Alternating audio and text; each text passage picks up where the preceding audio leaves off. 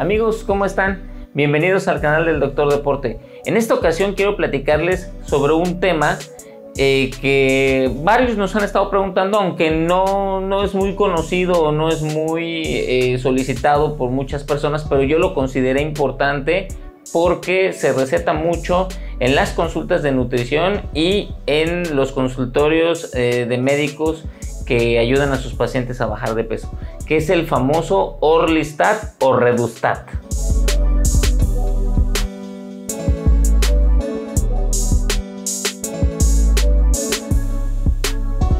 Bien amigos, pues primero empezar por qué es este producto.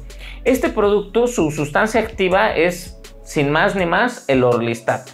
Lo pueden encontrar de esas dos formas. Lo pueden encontrar solito como Orlistat, ya ahí genérico, o también lo pueden encontrar con el nombre comercial que es el Redustat. En cuanto al Redustat, hay dos, hay dos versiones. Hay una versión que es simple o clásica y hay una versión que tiene L-carnitina. Pero eso lo vamos a dejar para otro video si es que este les interesa y les gusta. Vamos a empezar platicando sobre el, el Orlistat o Redustat simple, que solamente tienen la sustancia activa que es el famoso Orlistat. Este es un inhibidor, es un inhibidor general de las lipasas intestinales. ¿Qué quiere decir esto? Nosotros a la hora de que eh, comemos alimentos, em, las sales biliares tienden a saponificar las grasas. ¿Qué quiere decir esto? A dividirlas, a, poderlas hacer digeribles más simples para que nuestro cuerpo pueda absorber esas, esas grasas. Y de esa manera, esas grasas ya saponificadas pasan a todo lo que es el intestino delgado, que se le conoce como duodeno, yeyuno e ileón. Entonces llega a esta zona y ahí hay unas vellosidades, unas vellosidades intestinales. Estas vellosidades intestinales eh, absorben los nutrientes que nosotros necesitamos y algunos también que por cierto no necesitamos, que es cuando es el exceso de eh, ingesta calórica. Bueno, pues a la hora de que absorben esto, nosotros contamos con sustancias selectivas en estas vellosidades y en todo nuestro intestino o tracto del tubo digestivo eh, delgado o intestino delgado que ayudan a que nuestro cuerpo pueda todavía esas grasas ya divididas, todavía dividirlas más y hacerlas en ácidos grasos asimilables para nuestro cuerpo. Esas, esas son las famosas lipasas intestinales, que se encargan de que nosotros absorbamos la grasa. Bueno, pues estas sustancias, el llamado Orlistat, eh, lo que tienden a hacer es inhibir a esas lipasas intestinales. Las inhiben por, casi por completo.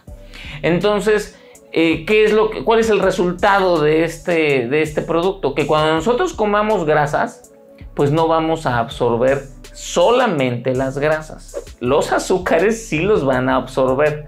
Las proteínas también las van a absorber, pero al haber una inhibición de las lipasas intestinales, pudiera llegar a haber una disminución en la adquisición de proteínas, sobre todo de origen animal.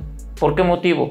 Porque la mayoría de las proteínas animales, por ejemplo, si ustedes se comen un bistec, un bistec de res, un bistec de cerdo, o inclusive si comen pollo, por ejemplo, si comen inclusive pechuga o un muslo de pollo, o si comen un huevo, un huevo cocido, son eh, proteínas animales muy ricas, pero también tienen muchas grasas.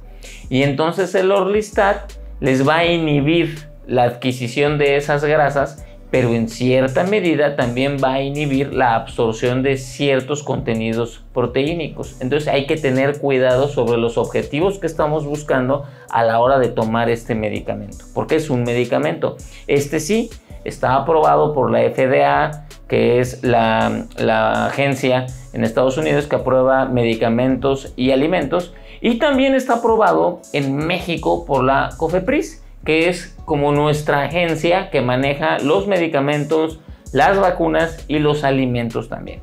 Entonces está aprobado por estas dos instancias, lo pueden encontrar en los Bademecum farmacológicos, lo pueden encontrar también en el PLM y en los libros de farmacología. Bueno, pues esta sustancia eh, se libera en cápsulas ya a nivel del intestino delgado y ahí es donde inhibe a las lipasas intestinales. Entonces el resultado es que nosotros no absorbemos las grasas. ¿Cuánto o qué cantidad no absorbemos? Aproximadamente de un 40 a un 30%. Eso es lo que elimina la, absorción de grasas.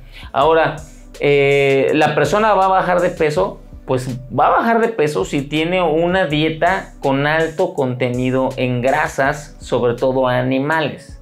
Si la persona, por ejemplo, le gusta mucho comer carnitas, pozole, este, tacos dorados, eh, cosas que sean muy aceitosas y muy grasosas de origen animal, entonces sí, esta persona su dieta y su uh, contenido energético calórico, pues va a tener un alto contenido de grasas. Entonces, muy probablemente esta persona sí tenga una disminución de peso. Pero, ¿qué va a pasar si una persona, su dieta está basada en contenido eh, calórico de carbohidratos? Por ejemplo, panes de dulce, galletas, refrescos, eh, por ejemplo, eh, combinar algunas grasas con dulce, ahí sí se ve reducida la efectividad del, del Orlistat, como por ejemplo comerse un pastel, por ejemplo, un pastel de tres leches, que tiene un buen contenido de grasa, pero también tiene un buen contenido de azúcares y de carbohidratos. Entonces ahí el Orlistat no va a hacer su función al 100%. Entonces hay que checar bien a qué tipo de pacientes se le indican este tipo de medicamentos. Ahora, estos medicamentos también no son para cualquier paciente. Yo les aconsejo que vayan con su médico y que si él se los indica, pues quiere decir que él vio que ustedes son pacientes candidatos a recibir este tipo de medicamentos. ¿sí? Pacientes que tienen eh, colon irritable, que tienen eh, mala absorción intestinal, que tienen enfermedades de las vías biliares, eh, pacientes que tienen problemas en los riñones, de piedras o cálculos solitos en los riñones y personas que evidentemente tengan algún tipo de desnutrición y que tengan dietas altas en carbohidratos, preferentemente no deben tomar. Bueno amigos, pues espero que les haya gustado esta información. Ya saben, como siempre estamos para ustedes, para que nos puedan decir algunas otras recomendaciones, algunos otros videos que podamos tener ahí en la agenda.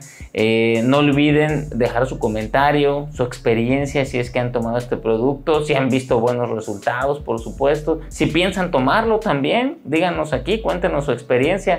No olviden compartir el video a sus amigos, compañeros, compañeras eh, amigas, y eh, darle like al video, darle click a la campanita y como siempre yo les mando un gran abrazo y les deseo que estén muy bien.